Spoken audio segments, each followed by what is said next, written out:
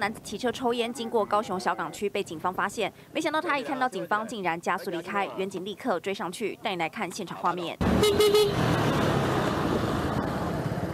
上一来哈，小我一来，哎，其他囡仔啊，下班哦，小我一来吼，你跟他骑车食薰未使？开始啊，对你先给他量一下哈。远警把男子拦下后，一靠近就闻到他身上浓浓酒味。男子才坦诚，正要下班回家，不久前在工地喝酒，一测酒测，酒测值果然超标。男子看到酒测值超标，还跟警方求情，希望能够网开一面。不过酒驾就是酒驾，警方除了当场制单举发酒后骑车，也查扣牌照两年，并依公共危险罪移送地检署侦办。